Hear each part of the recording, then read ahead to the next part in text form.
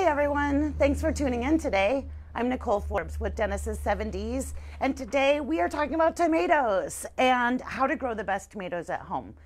It is um, something I'm passionate about. Just gonna tell you to, you know, alter your expectations for me to talk about juicy, homegrown, heavy yielding, heirloom versus hybrid tomatoes. I'm so excited that um, it's months away before we can actually eat tomatoes, but planting them, um, you know, it's, well, that's the first step, right? So people really put a lot of hopes and dreams into growing their uh, best flavored tomatoes at home. And I, I'm, I'm right along with you. I, probably care more about them than almost any other edible crop that I grow in my garden. And I probably grow more tomatoes than I grow of almost any other crop in my garden.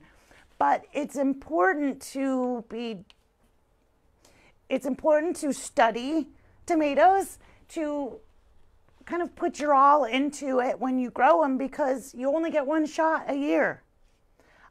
I can grow lettuce over and over and over again every season and you know water more water less fertilize more use slug bait improve my lettuce game throughout the season with multiple opportunities to grow lettuce. But honestly at least here in the portland oregon pacific northwest we plant tomatoes right around mother's day and we pull them out around frost um, or you know by halloween usually they're wrapping up. So one time one shot the learning curve is steep and tomatoes, I would love to say that they're easy to grow, but they're not the hardest. They're right in the middle. They are um, slightly demanding in their like pre-planting preparation. Tomatoes grow fairly fast, and so again, being able to handle uh, their growth either with proper supporting, uh, proper spacing, or optional pruning. Um, just takes a little bit extra skill than like plant it and forget it, which you can do with, uh, uh, honestly, lettuce is one of those that's pretty darn easy. Plant and forget it. Peas, another one. Until they're ripe, you know, there's not much to do with the pea. It's pretty self-contained. but tomatoes, not only is there a little bit of uh, what you put into it in the beginning, you know, what you get out of it. Uh, this is possibly the case of the $10 hole, you know, um, if you know what I mean. Not only is there some information that we're going to share today about what to use in your planting preparation and how to plant the tomatoes and when to plant the tomatoes, but which tomatoes to plant because, oh my gosh, there's hundreds of varieties of tomatoes to choose from. And if you have just come to the West Coast from the East Coast, many of the varieties of tomatoes perhaps that you grew up with or you're familiar with in another part of the country, you won't even find available any longer because, well, because we got West Coast tomatoes. So, um, learning the varieties, learning to read a tag to give you the information that's provided here on the plant, you know, itself so that you don't have to pull up Google or consult, uh, you know, an encyclopedia to find out more about your plants.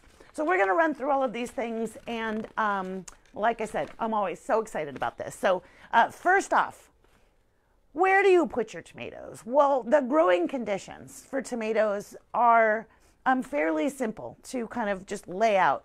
They need full sun. Tomatoes want at least six hours of direct sun throughout the day uh, while they're growing. So that's going to be, like I said, from mid-May until Halloween, that spot where that tomato is, the sun better shine on it for at least six hours. Could be more. Tomato will be fine with that. If you have less than six hours, now if you have one hour, you're not going to grow a tomato. If you have four hours perhaps, or all day long of filtered light and not strong sun, you can grow some tomatoes, but what you're going to grow are cherry tomatoes. So kind of typical is the size of the fruit will indicate the hours of sun required. Bigger, bigger, bigger fruit, all the sun you can give them. Cherries, though, you could get away with in four hours of sun. So that's good news for those of you that thought maybe you couldn't grow a tomato in partial sun.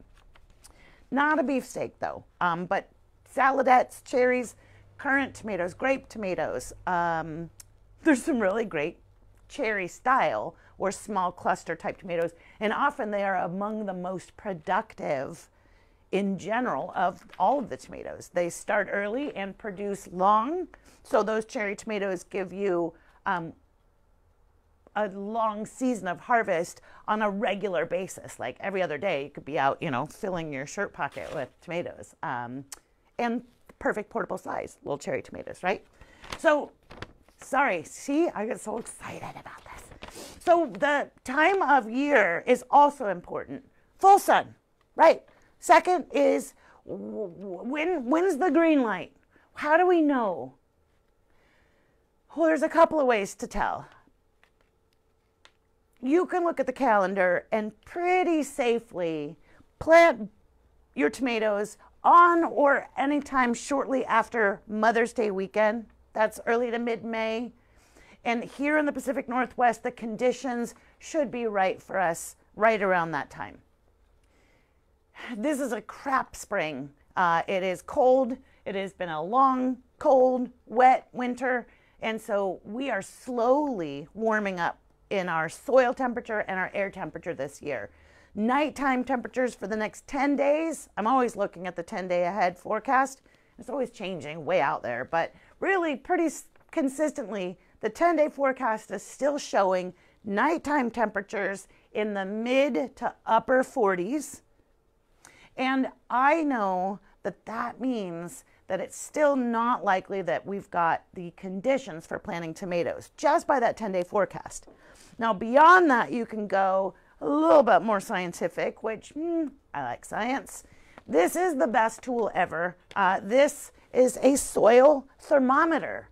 And I mean, come on, right? You've got thermometers in your refrigerator. You've got a thermometer in your oven, probably. We've got thermostats in our house. We read the outside uh, temperature, maybe from you know wherever, to tell what what to wear today. A soil thermometer goes down into the ground in your garden, pushes down till the little green knot is right at the soil line, and then in three to five minutes, you can pull this out of the soil and read it just like a regular thermometer um, that you would take your own temperature. Now, the difference of this one, not only is it in like a heavy duty metal casing, but the range on this thermometer goes from negative 10 degrees to 120 degrees Fahrenheit. So it gives you a really wide range. Human thermometers um, have like a 20 degree range or something like that. So um, don't go through your medicine cabinet and try to pull out your own thermometer. It's measuring in the 90s, you know. Uh, this one, like I said, negative 10 to 120 degrees. And soil can, well, I've never been down to negative 10, amen to that, because we're in Portland, Oregon, but wherever you are, gosh, you could be down like that. The, the biggest criticism that I have of this absolutely wonderful tool that's like 14 bucks for you to buy at the garden center and super durable is that this green top is a ridiculous color to lose in your garden. I mean, I guess it was their only way of ensuring that you would maybe buy two in your lifetime because otherwise they're super durable. But the green top makes them disappear once you've got them amongst plants, and I've lost them multiple times. And I want to pull it up and read my soil temperature every day because that's what I do. And so paint it with your brightest nail polish or um, hazard paint, you know, or whatever you've got, bright red, bright yellow, something like that, because oh my gosh, it's too easy to lose. But the back of this reads like a straight up list. If you pull the thermometer out, temperature says X, this is what you can plant right now. Or you can basically pull that thing out and wait and wait and wait for a daily reading, at least five days consistent, of 60 degree soil. And after we've had a week of soil that reaches that 60 degrees or more, then we can plant our tomatoes into that soil. If we, so I was just talking to a woman who heard me say, well, it's not tomato weather yet. And she was like, well, if I cover, can I just cover them? Well, in, in many cases, if we were worried about freezing, frost, covering them would, would prevent them from damage of, you know, frost coming down on them. But we're talking about the literal earth. the temperature of the earth needs to rise in order for these plants to be comfortable nestled into that soil. And if we put tomatoes into, there's really not much you can do to warm up the earth. I mean, that's the sun's job. Raised beds and containers can warm up faster. Anything that's up and above the ground can warm up faster when we have that stretch of warm days, five days of sun, sunny weather and not too cold at night. That pot or raised bed will achieve a closer match to airtime temperature. Airtime, air temperature. That was a combo of daytime and air. Um, you'd speak my language. But in the ground, it takes a little bit longer to eventually get to that 60 degrees.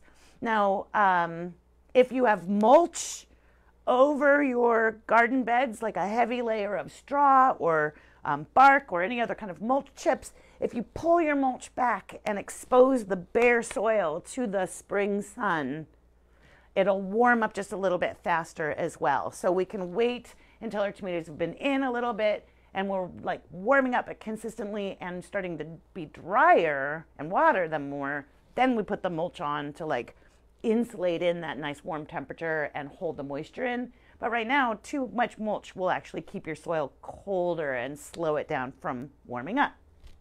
But the soil thermometer, magic wand.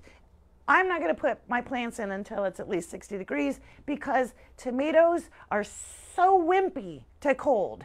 They're like they're like cold-blooded and they and they go into the cold soil and they they their their little their little roots go numb and then their stems get cold and then their little leaves want to curl and then they feel so cold that like they can't they can't warm up even when the summer sun and warms them up they're like stunted from that experience that early childhood trauma that you put them through and so if we planted a tomato today this guy if we what are you celebrity no you're short if we planted this tomato today chocolate cherry gorgeous happy, tall looking, spry tomato that has been undercover in the greenhouse here. We plant this today and in two weeks, we planted this tomato and they are like equal. So today they are the same size. But in two weeks, if we planted a tomato that's the same size as the one we planted two weeks previous, the later planted tomato would catch up to and ultimately grow larger than the tomato that was planted early on in cold soil. Its growth can be stunted and like literally retarded to, to the entire season. So better to wait. Uh, and in some cases, you know, even uh, a disadvantage of planting early. now, as I mentioned, raised beds and all these other kinds of great situations that you may have you could have your tomato planting area in a microclimate. Maybe you've got it covered with black plastic and heat lamps on it, and you're running whatever, a higher temperature in your soil. Fine, you can plant then. So you want, you know, again, your conditions um, to match the tomatoes conditions, and you can find that out by checking your 10 day forecast, pulling the soil temperature, and just kind of, you know, gauging on average where our frost is and all of those kinds of things. No, we can put them in the ground or we can put them in containers. Tomatoes can grow uh, in a pot that literally gets wheeled around so that it follows the sun throughout the day. We've got um, large pots and rolling casters with locking wheels, and you could push it around throughout the afternoon as the sun traveled around your property to give it eight hours of sun if you're that dedicated to a tomato, um, then you deserve to have a good harvest. And so, of course, that's an option for you. It's a little much for most of us. Um, I believe that probably in the future, like um, um, what's the the vacuum thing? The, the we'll have the little like robots that could probably move our plants around for us to follow the sun. I mean, why wouldn't it, right? A little solar panel and a little, uh, anyways, that's probably coming, but for now, you'll have to move your plant around in the sun itself. If you're putting it in a pot, you want to use potting soil, but a high quality potting soil. Um, see how carried away I get? Again, there's a handout. All of this information, all these details, even suggested varieties of tomatoes to use, uh, a planting recipe, which is our like standard what you put in the hole, is all on a blog handout that is attached to this video right up at the very top when it says welcome to our tomato class you'll see a link there that's to the class handout if you have trouble finding it please mention it in the comment section and we will link it directly to you. And if you have specific questions that I do not answer in today's video um, please also write those in the comments. And after the class video is over uh, I will make an effort to answer any of those questions out there. Regular potting soil is good, uh, like a premium soil, full of nutrition to get a plant started. But it's not what a potting soil, even a premium potting soil, contains is not enough to sustain a plant through the entire season. So, whether we add soil amendments and compost into our planting hole in the ground, in raised beds, in a container, the soil that we put in and the amendments, as I said, such as you'll see on the handout, compost, like Malibu. This is an absolutely fantastic biodynamic, all organic compost uh, where you don't use you don't use a ton of it. Um, so a shovelful in a hole, that kind of thing, little goes a long ways. Even in your potting soil, uh, compost is a great amendment to enhance the soil and another of my favorite amendments to use both in the ground and in containers is worm castings. worm castings are worm, eh, eh, are worm castings is worm poop. I don't know. Somebody give me a linguist, uh, you know, assist on that. Linguist assist. Uh, worm castings, worm poop. It is um, odorless delightful. It looks like dried coffee grounds. It is full of micronutrients, trace elements. It has some nitrogen in it. Uh, the microbes and probiotics uh, that your soil needs. This is food for those probiotics. So uh, worm castings are fabulous for that.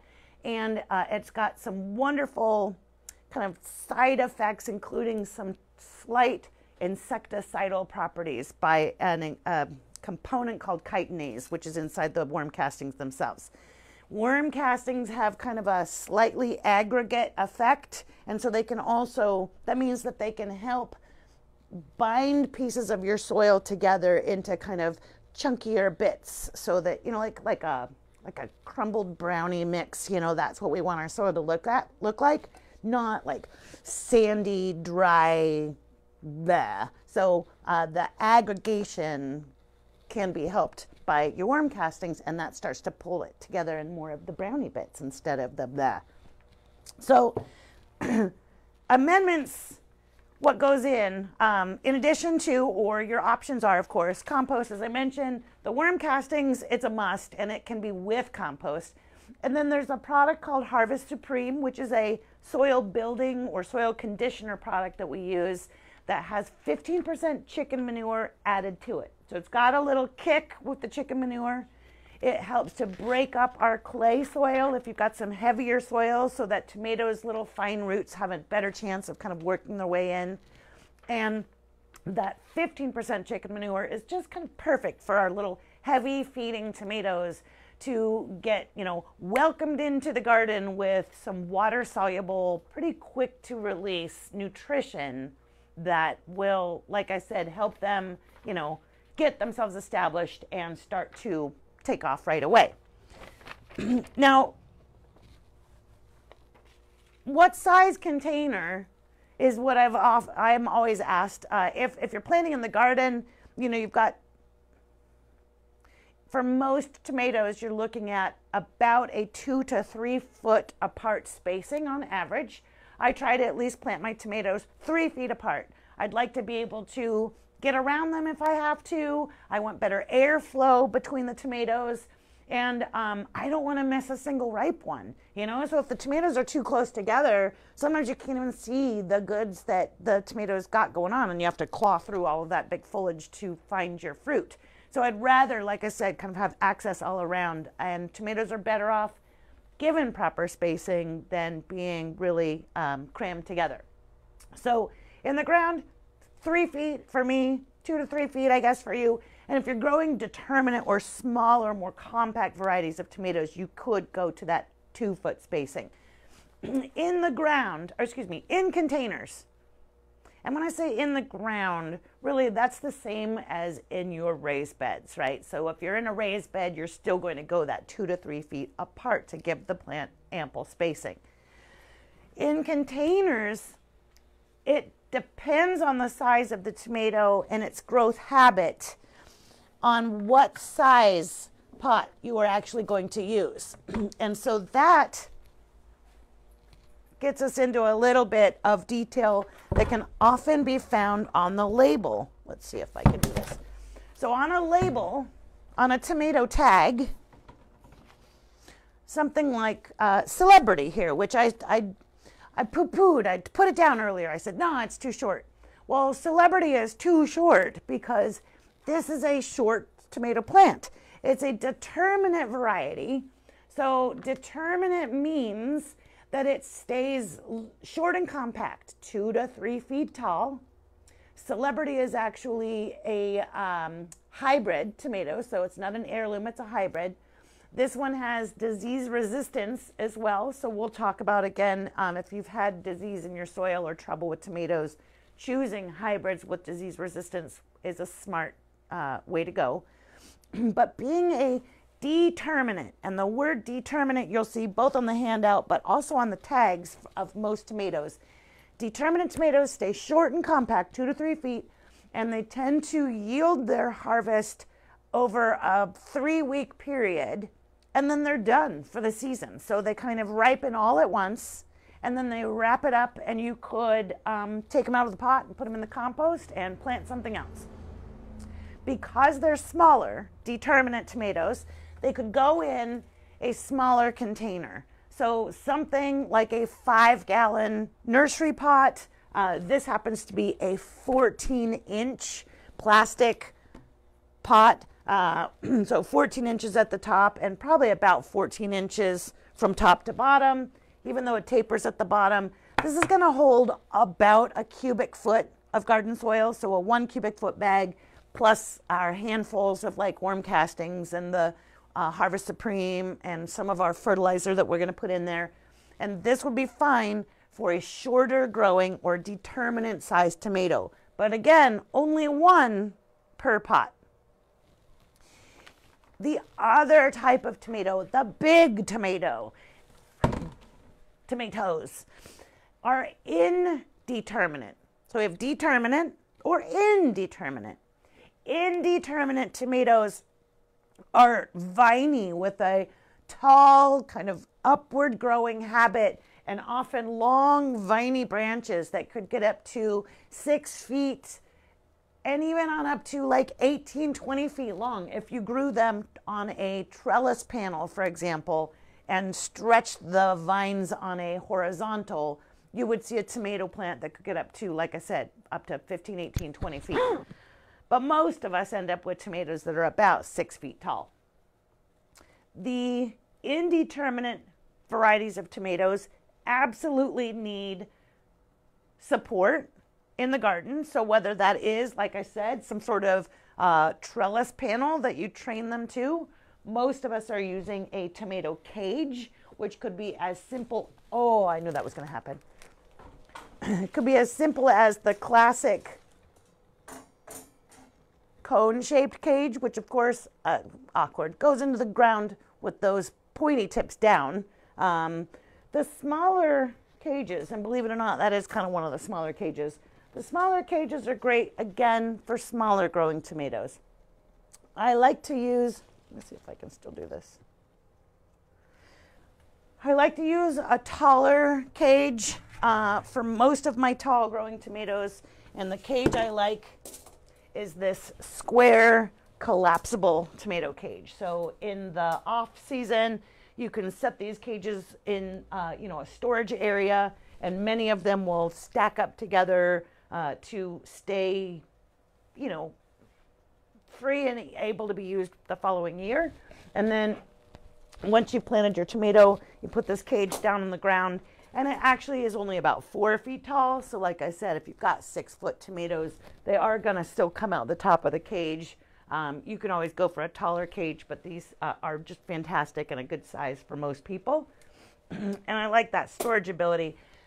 Oh, I talk about tomato cages too, and then I'll go back to pot size. Hummingbirds love to sit on tomato cages. Um, all birds really love to sit on tomato cages, but something about that like gauge of wire uh, as soon as you have a tomato cage out you'll find little hummingbirds sitting on it and that's just like an added bonus of your tomato garden or vegetable garden in the, in the first place so back to those indeterminate tomatoes which again you'll see on a tag uh, here i've got Stupice which right now looks like a short compact tomato but Stupice will tell us right on the tag that it is indeterminate. And so that's our watchword. That means it's going to grow tall, needs to be in a larger pot with a larger cage. Indeterminate tomatoes should go in at least like a 15 gallon container. So 15 gallon pots are going to hold approximately two cubic feet of garden soil uh, with, you know, two cubic feet of potting soil with those amendments that we talk about, um, what you put in the planting hole. This is, I believe, 20 inches. Yeah, so this is 20 inches in diameter, about 20 inches tall, and two feet. So a two cubic foot bag of garden soil. And of course, yeah, this is going to get heavy when it's full of soil. So if you needed to move it around, uh, we've got those wonderful rolling situations that go underneath them. So you don't have to worry about not being able to move your tomato if you needed to, like, I don't know, clean the deck or get past it on your balcony or whatever. So, determinate, and indeterminate. now, fertilizing. Tomatoes are heavy feeders, especially if you're going to grow them in containers. We need to make sure that uh, we use that quality potting soil and then add a slow release organic fertilizer at the time of planting. And in containers, we'll be reapplying that granular fertilizer about every four weeks, maybe six weeks at the longest, because uh, the, the nutrients get kind of flushed out of the soil as we water more and more.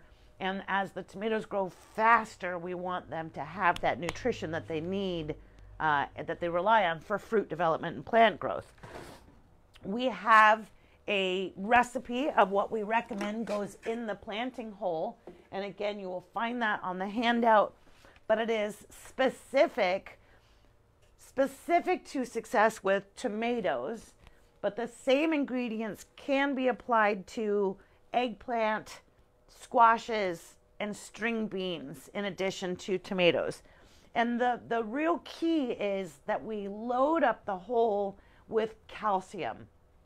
And calcium, we provide a couple of different sources of calcium uh, with organic amendments that include lime, and lime is calcium carbonate. We add bone meal, and bone meal is ground up fish bone if it's fish bone meal, or cattle bones. Uh, if it's just standard bone meal, it's cattle bones. So that's another source of calcium that's a little slow to release. And then the tomato vegetable herb fertilizer that is made by G&B.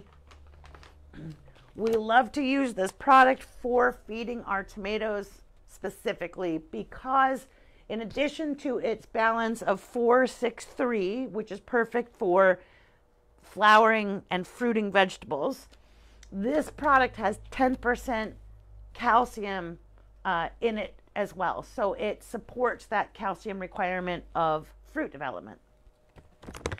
The granular fertilizer like this is slow release. It's all organic. It can be applied in the planting hole and then reapplied for in the ground again about every four to six weeks. Going to give you instructions on the label as far as how much to apply. And um, then you just water it in, and that gives you that kind of long, slow release. Also has the microbes, so the probiotics and the microbes that help feed the soil itself and, and raise the biological activity of the soil, which helps other nutrients break down and become more plant available to the tomatoes. Now, granular fertilizer is that long, slow fertilizing. It's the feed that kind of keeps giving to the plants every day as they need it. But we can also, when the plants are actively growing and really working hard, or after planting, when we know that soil temperatures are still on the cool side and the the granular fertilizer that we've included in the hole is going to still take some time to break down and become plant available.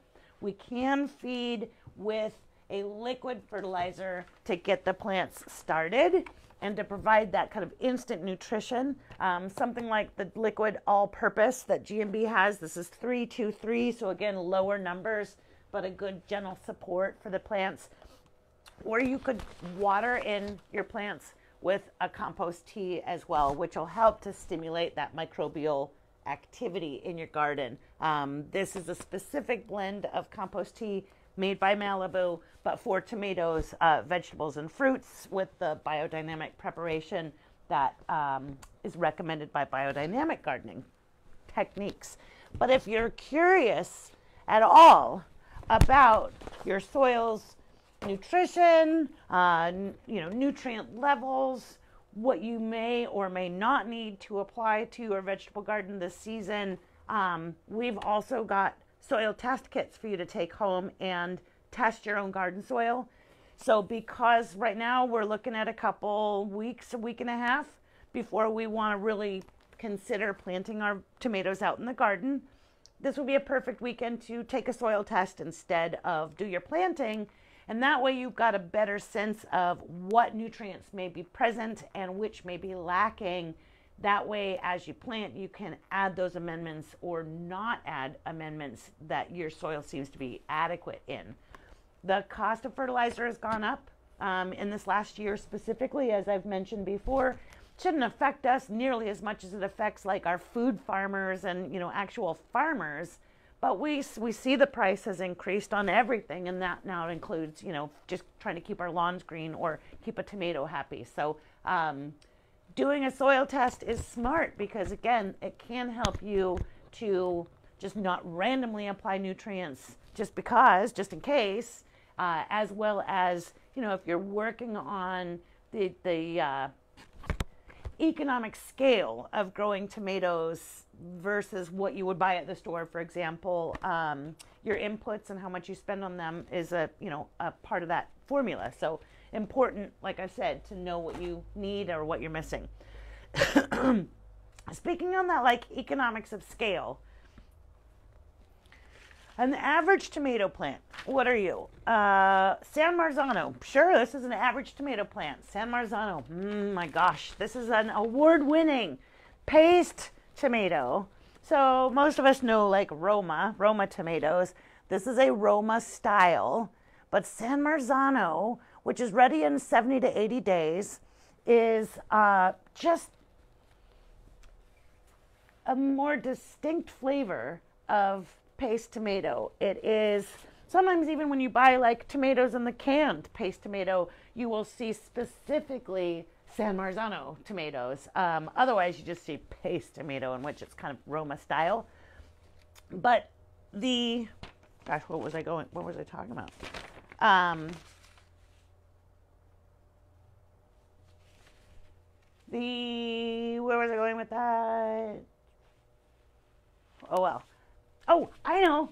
San Marzano, pretty heavy producer on average. It probably represents kind of the general average yield that a tomato gives. Whew, now I know I'm on track again, guys. An average tomato can give you like about 40 pounds of produce throughout its ripening season. So an early and that but that so that depends. A great big tomato may not ripen until mid-August, but you've got like two pounders coming out or more. So, of course, it's easier to come out with 20 fruits and you've got your 40 pounds on that guy. Worth, worth a cherry tomato or the smaller fruits, you get a lot more of them to make that, obviously, make that 40 pounds. But on average, you can assume 40 pounds uh, per plant yield.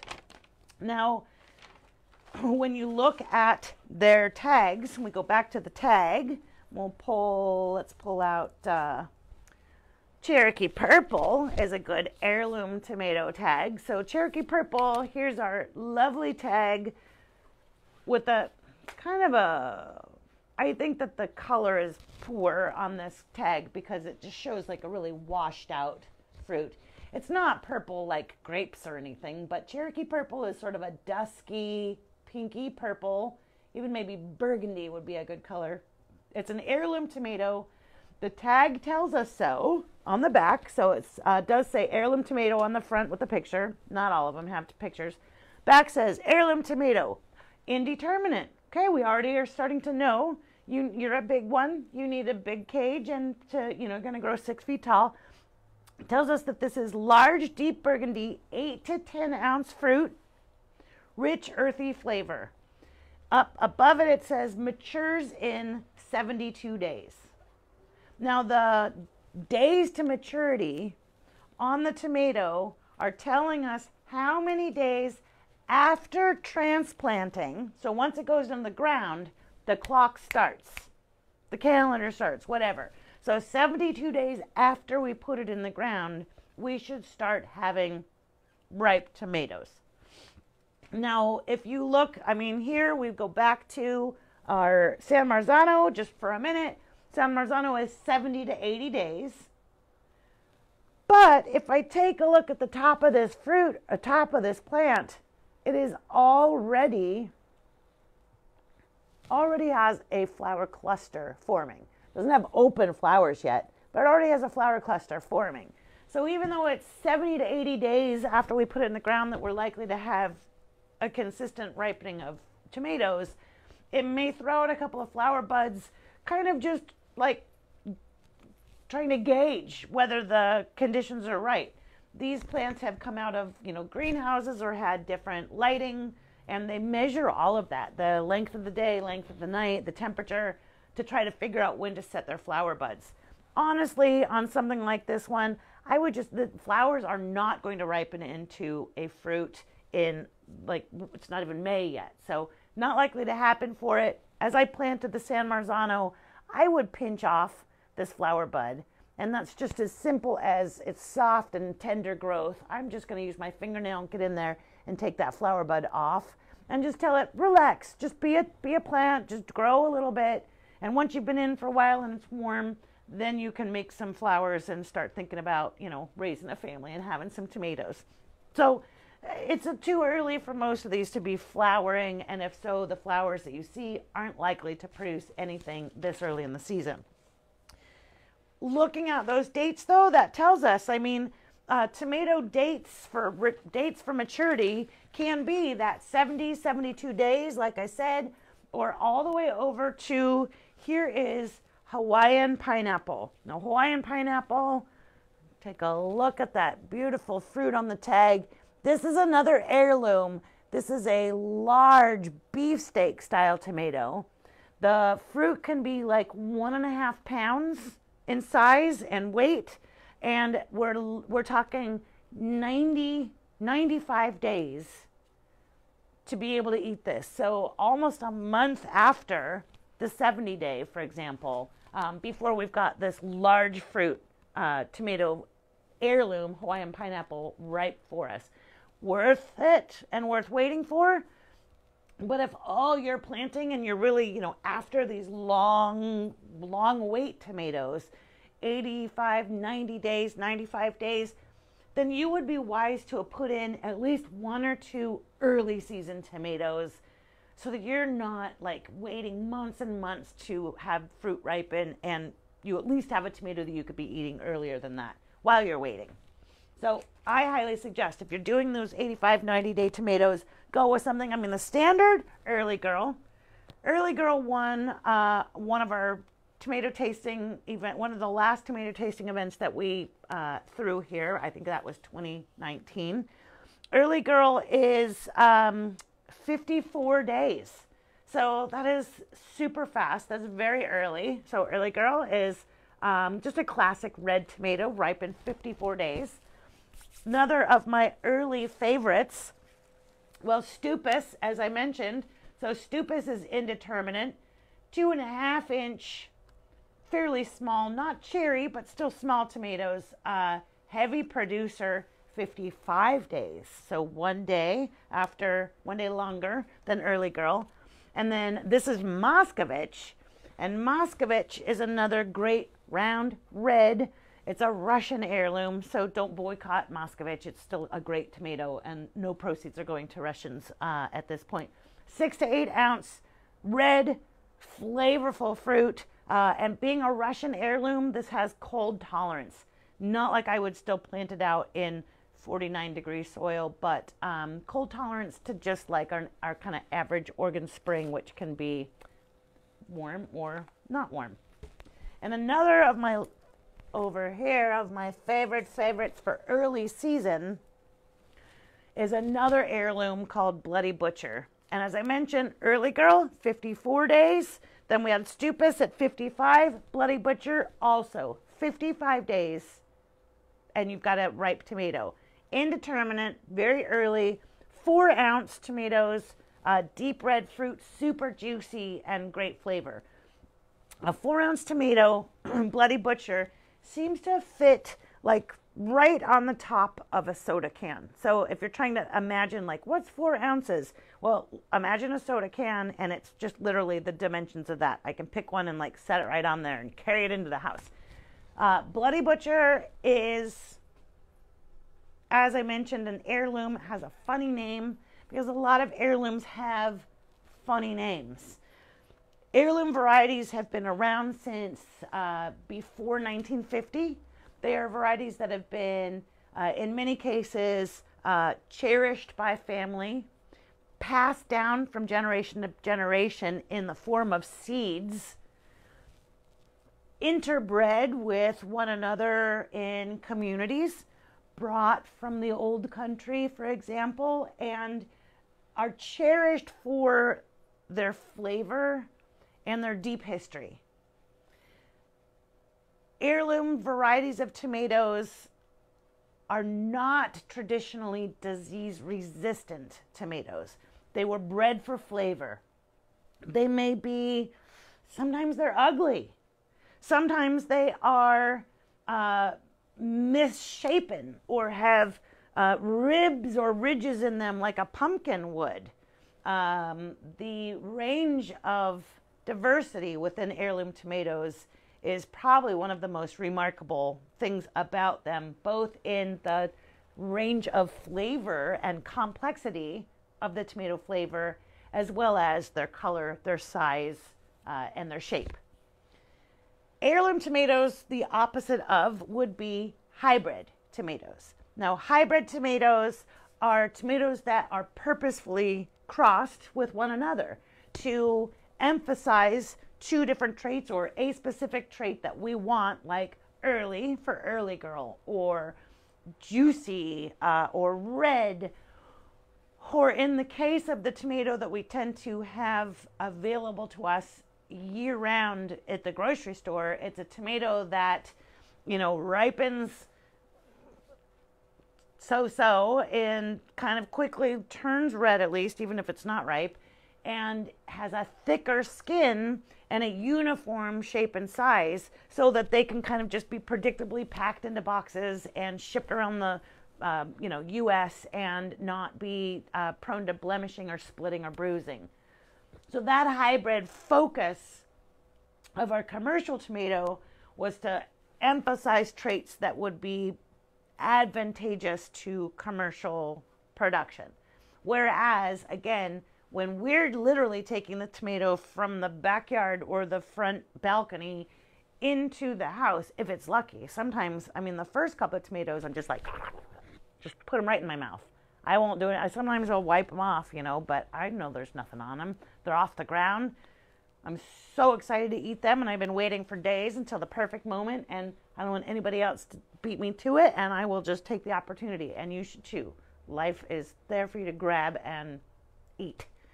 So, as the fruit's developing on the tomatoes, you again will see that kind of either cluster form. So, cherry tomatoes tend to ripen in a cluster like grapes. And usually the uh, cluster ripens from the back of the cluster to the front. So the the the newest tomato is kind of at the furthest end. So you're picking it from the back to the front. But you can wait for the whole cluster to be ripe in many cases and snip the entire cluster. Tomatoes really do ripen best on the vine, but they can ripen somewhat after they've been picked as long as they've at least hit a certain point of color in most cases.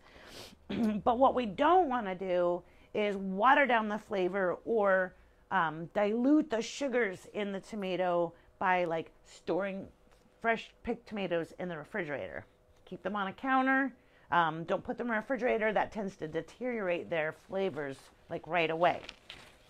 So watering, as I mentioned, that's another way that uh, we can impact the flavor of a tomato and is another one of those things that is kind of hard to dial in on your tomato growing um, kind of maintenance or regimen. Clearly, as we talk about in different instances uh, for various topics, where you are growing is going to affect your watering as well. So, whether it's in raised beds, which dry out faster, in pots or containers, which, you know, a small pot is going to dry out faster than a big pot, but pots just simply dry out faster and need more consistent watering, more regular watering than, or more frequent, I guess I would say, than in the ground plantings. So, watering is best to be done deeply and over a uh, like deep and infrequently is the best way I can put it. So ideally at regular intervals, but not not daily unless it's in a container. And you want a nice deep soaking to encourage those tomato roots to go deep down into the ground. It is uh, a, a tomato in the middle of the day, once it's in midsummer and it's hot, a tomato is likely to sort of partially wilt. It does what we call a midday wilt where all of the stems and leaves will start to sort of sag and everything will look a little bit droopy and sad. But that's the tomato's way of coping with the stress and heat of a midday sun. If you see your tomato plants wilting in early morning, that would be a signal that the soil is dry and a good indication to water. But if you know you've watered in the morning and then you see your tomatoes wilting in midday, there's no benefit to watering them, and in fact, you could do damage by just keeping them too moist. So, watching again the time of day that we see that wilt, but a deep soaking on regular intervals, allowing your plants to dry out in between, is the most important. It is an early planted tomato, whether we're planting a one gallon size, which has got a decent root system, a four inch size, which has a pretty small root system right now, or planting a two gallon tomato, which already has a more established root system and a bigger plant. Any of these plants freshly put into the ground, our watering is going to be more frequent but shallow because the roots aren't uh, the roots are up in the soil surface. But of course, we all also have the rain um, to help us with that kind of watering. So once the weather warms and the rain tapers off, that's when your watering really comes into active action. Uh, at least like a slow trickle from the hose dropped right at the base of the tomato in the ground and a good 20 minutes of soaking should be uh, maybe once or twice a week once we get into the active growing season. That's about what I do with my tomatoes. now, you again, you know, will count the intervals in your uh, container plantings, most likely by the time the tomatoes large and we're into the full summer swing, you're going to be watering your tomatoes in containers every day, um, at best every other day. Raised beds more frequently as well, and in the ground is about that twice a week is ideal as long as you're giving that deep soak. And then you have mulch on top that reduces the water evaporation. Now, there's not a lot of pests and diseases that bother tomatoes. There's there are some pests and some diseases. So, like I said, not only if you are uh, aware of the presence of diseases in your garden from previous year's experience. If last year your tomatoes did great up until like early August, and then they got some weird stuff on the leaves and they all shriveled and died, and you pulled them out, and you're like, oh yeah, I remember that.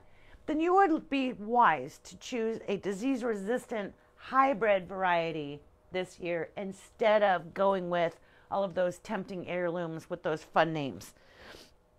It's more common that rather than true disease, what we see on tomato produce is something called blossom end rot.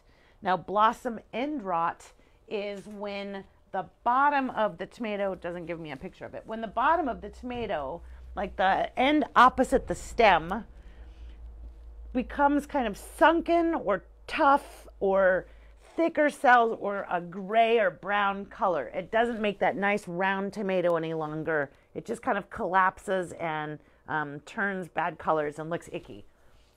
Blossom end rot is a result of an interruption in the calcium uptake that our plants are experiencing, whether that is cold soil temperatures, which will slow down the breakdown of calcium, whether that is too inconsistent of watering, so the plant goes too dry between watering and then it can't take up calcium, or if we didn't have enough calcium in the planting hole in the first place, that would be a, a deficiency in calcium rather than really the inability to take it up. Calcium, as I mentioned, is in that bone meal, lime, and 10% calcium in our tomato vegetable herb fertilizer. And that's all the reason why we put that down in the planting hole is to avoid the blossom end rot that can be um, kind of ruin part of your tomato. I mean, you can cut it off and try to eat the rest, but the good news is it's not a disease and it can be corrected even in like in the current season that you're growing. So you can um, use a product called Full. If you did not put the calcium in the hole, you can use a product called FoliCal, and this is a liquid form of calcium that can help to treat the blossom end rot. You've got to spray the whole plant, um, but this will help to turn around that process. And then you just remember in the future, uh, follow those directions and put all that good stuff in the hole. If you have other potentially fungal problems, you think you've got a tomato disease like early blight, late blight, bring a sample always in a sealed container like a Ziploc bag uh, into the garden center with maybe even some pictures of your tomatoes. And we'll be happy to take a look at the foliage and do our best to diagnose and help you, you know, steer you towards a safe treatment. Pests, there's nothing really specific about tomatoes that brings uh, new pests that you wouldn't have already experienced somewhere else in your garden. There is the tobacco hornworm that occasionally we see. Um, once you see it, it can become, you know, it, maybe it's small, but usually when we find them, it's a big worm and it's already eating the tomatoes and things. So, but that is um, not common, not super frequent. We have early season pests for tomatoes, insect wise, can be flea beetles, which are about the size of a flea very small and they kind of jump from the soil line up to plants and uh, leave tiny little, almost like buckshot looking holes in the leaves. Flea beetles are annoying. They can definitely spread disease if we have, again, diseased plants in our garden, but they're not the worst. They're not fatal to a tomato. And because tomatoes grow so large and so quickly, they eventually grow taller than a flea beetle can even jump. And so typically the damage is down low, uh, the plant grows out of it, and eventually flea beetles aren't that big of an issue anyway. So um, there are products that we can steer you to again that treat flea beetles and other pests that you may experience on uh, like aphids.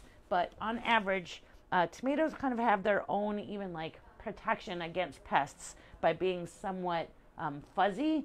They've got a, a weird smell. They've got a bitter taste. Most um, herbivores like deer don't want to eat them, although they'll eat the tomato fruit. They don't like to eat the tomato leaves.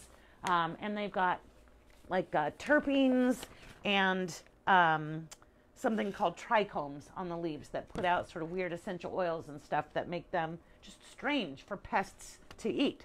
We also we don't eat tomato leaves, right? So we just wait for the fruit too. We got that in common with the deer. Flavor, well that's what it's all about, right? Flavor is so important on a tomato. The flavor of a tomato like when you find the right tomato for you and you eat it, you could be like thrown back in time.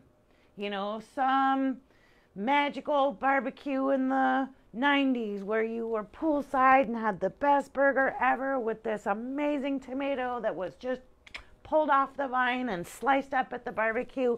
That's the tomato that's been like your gold standard for the last 30 years, and you finally find it.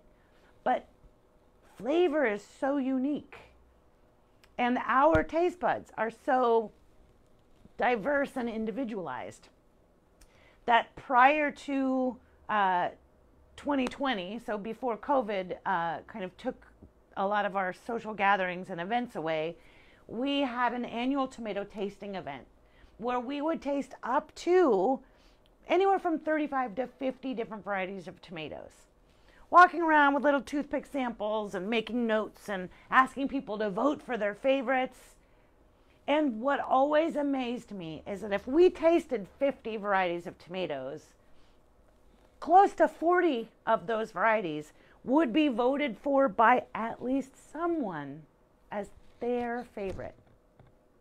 So there's not a one. There's not like everyone loves Momotaro.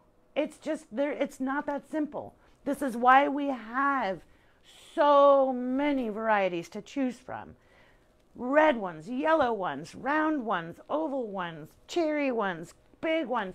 There's a huge range because we humans, they're so important to us. Tomatoes are so important and we're all looking for that flavor that brings us back to that wondrous moment where we tasted a homegrown tomato sometime in our life and, and had that almost, you know, religious experience. I'm sure, I'm sure that's happened to you. So, flavor, the varieties make a big difference. Go to a tasting event. Hopefully, we will be able to have them again now that we are uh, all more protected from this virus. But um, you'll find maybe even sampling at new seasons and read reviews of all of the different varieties of tomatoes. You may think that you know the flavor of a tomato, but maybe all you've ever eaten is the tomato that you can buy at the grocery store, which pales in color and pales in comparison to the range of flavors that you can find uh, from the varieties that you grow at home. Now, I already talked about watering a little bit, but know that Watering can also affect the flavor of your tomatoes. Watering too overwatering can actually kind of water down and dilute the intense flavor of your tomatoes. I like to at least pick my tomatoes 24, maybe 48 hours after the last watering. So I'm not gonna like water and then pick right away. I like to give them time between for those flavors to concentrate. And then again, don't store them in the refrigerator, very important. Now, suggested varieties to try. I mean, if you come into the garden center Uh, from now, right now, we have a great selection of tomatoes. I've got, you know, just pulled together. I don't know, what do I have? 1, 2, 3, 4, 5, 6, 7, 8, 9, 10, 11, 12, 13, 14, 15, 16, 17, 18, 19, like 21 different tomatoes on here. There might be two early girls, so that, that's 20 different varieties of tomatoes.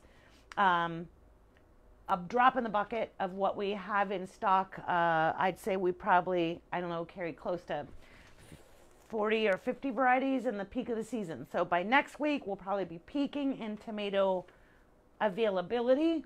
Uh, and that's right about put you in time for your Mother's Day planting.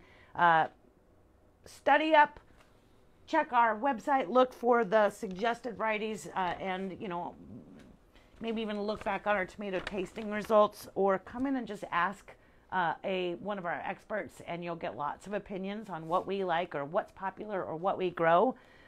Suggested varieties that we give you on the handout for cherry varieties, Sun Gold, which is uh, extremely popular orange cherry tomato, very productive. Uh, people love this tomato, and we grow it every year. Chocolate cherry, another uh, of the black or, or brown style tomatoes. So a more complex flavor, but still really sweet. Isis Candy, a very small heirloom cherry tomato. Snow White, a wonderful ivory colored cherry tomato. And Golden Sweet, which is a, a, really, again, nice yellow cherry tomato. And the range of colors, even, of just growing a bunch of different colored cherry tomatoes, if you slice those up for like a cherry salad, um, cherry tomato salad looks really pretty. Beefsteak, which are like the large, put it on your hamburger, you know, slicer tomatoes. Suggested varieties to try brandywine, mortgage lifter, pineapple, or Hawaiian pineapple here, or a Amana orange. But know that most beefsteak tomatoes are a longer, uh, more days to maturity. So you're looking at uh, 70, 75, even on to 85, 95 days for maturity. So get yourself something that earlier is ripening as well medium slicers or saladette tomatoes, black krim for an heirloom, Goliath for a hybrid, fabulous uh, flavor for both of those. Paste tomatoes that you want to um, use for canning or salsa or um, you know put up for paste. San Marzano, kind of the gold standard in flavor, or Roma, which we've all been familiar with for many years. And then the cold tolerant extra early tomatoes, I don't have a crystal ball. I don't know if we're going to end up with a hot, hot summer again, but it sure has been a cold spring, and it might be a good one to go with some early yielding and cold tolerant varieties. As I mentioned, Bloody Butcher, Moskvich, Stupice, fantastic for the cold tolerant varieties. And then one that I don't see on my list, but tomatoes to try in the smaller containers. So if you've got, um, you know, you don't have the room to have a whole bunch of 20 gallon, or excuse me, 15 gallon, 20 inch pots all over your patio or whatever. Uh, the compact or determinant varieties, Willamette, as I mentioned, uh, Celebrity is another great one. Oregon Spring, another compact form. One that's just called Patio, which is what you put in a pot on your patio, right? These are determinate varieties that would be fine to grow in smaller pots, five gallon, 14 inch, something like that. And then in the pre, in past years, I, I always try to grow, grow at least one new tomato. There's always new tomatoes. There's new tomatoes coming out on the market every year, which, I mean, there's going to be a billion, trillion, bajillion tomatoes eventually, but I think some also kind of fall out of popularity and get harder to find and, you know, that kind of thing too. But this last year's or a couple years ago's new tomato was called Tumbling Tom. And Tumbling Tom uh, is a hanging basket style or cascading tomato. And it was pretty good. The flavor was pretty good. But I'm going to try this new cascading tomato, uh, new to me at least. And this one's called Cherry Falls. So Cherry Falls is, uh, so they call it semi determinate, which means it's like short and compact. It's not viney, but it can cascade 36 to 40 inches. So it can grow down basically like three feet. Uh, I've also read a review that it kind of grew up about three feet in somebody's container. But you could put this in a hanging basket as long as you kept it more consistently watered. This is um, like one and a half inch juicy red cherry like fruits, very productive. Cherry Falls. I would put Cherry Falls in something like uh, this is a 12 inch. So, like a 12 inch pot or maybe a three gallon container if you were comparing, again, one per, one plant into this pot. Um, and whether you hung that or just had that, you know, sitting, if it's going to cascade three feet, eventually we would need to like put it up on something so that it could spill down. But that still gives us enough soil volume to support all that growth instead of the smaller and smaller the pot, the harder it is to keep the plant watered and keep it happy. Again, everyone, lots and lots of information out there. If you have more questions, please do make comments and I will respond to them by the end of the day. Uh, come in soon grab the attention of a staff member or look at our signs of uh, previous like award winners from our tomato tasting what's been popular in the past will often be you know popular to you as well um, and by all means ask for our opinion because when it comes to tomatoes lots of us have them. Uh, always thanks for watching everyone. Happy gardening